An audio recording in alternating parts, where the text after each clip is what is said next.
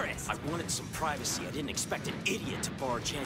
I didn't barge They're so in. childish. Did you just call me a jerk, Dragon Boy? And what if I did? What are you gonna do about it? You mouth breather! At least I'm not a coward. You're a spineless wimp! You're the one who was provoking me, you dirty slime ball. Oh yeah, and what exactly did I do to provoke you, you fire clown? You pervy flasher. Be careful, punk! Lame insults, guys. It was just a pillow fight. What were you getting so worked up about? Cause I give everything 100%. Oh, like when you 100% lost? I was awesome. You're the hate this. Teaming up with you was the worst idea ever. Yeah, tell me about it. Erza made a huge mistake asking a loser like you to come along. Fine, then why don't you just take care of it yourself? I don't want to go anyway. Sounds like a plan to me, then I'll get to watch her beat you since- Who you calling a pervert, Pinky? You, you loudmouth streaker. You better show me some Well, feisty one, eh? Plain brain lizard!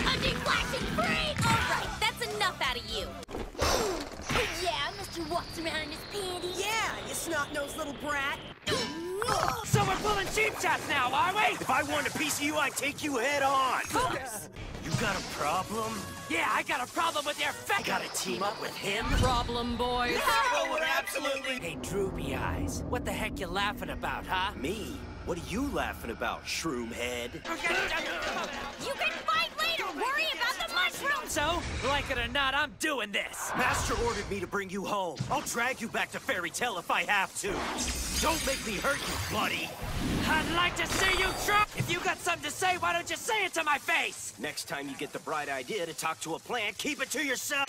Who are you calling stupid? All I'm saying is if we want to find it, we gotta get out there and look. I called you stupid, Flame for Brains, because only a complete idiot would go running around with no strategy. Try and hold it still, you freak! Try and dodge it, you slow poke.